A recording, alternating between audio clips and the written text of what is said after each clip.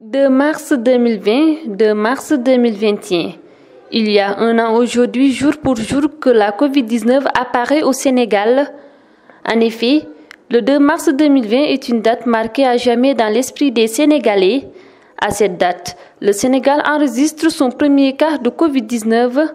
Par ailleurs, le chef de l'État réunit en urgence une réunion de sécurité en vue d'annoncer l'arrivée de la pandémie COVID-19 dans le pays. Pour rappel, le premier cas enregistré est un Français de retour d'un séjour en France. Ce dernier a été hospitalisé dans les services à Fan.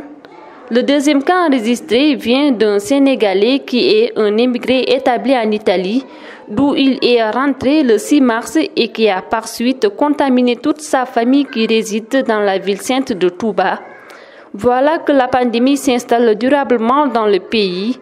C'est ainsi que tous les acteurs de la société sénégalaise ont favorablement répondu à l'appel du chef de l'État en vue de mettre en place une politique sanitaire pour lutter contre la propagation de la pandémie. Le chef de l'État a décrété un état d'urgence assorti d'un couvre-feu.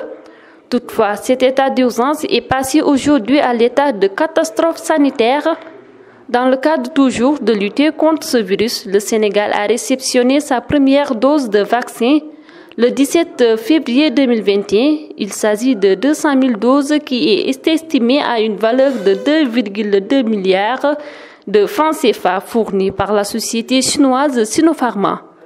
En un an, le Sénégal a été traumatisé par la vague de pertes humaines, notamment des personnalités qui ont été touchées par la pandémie.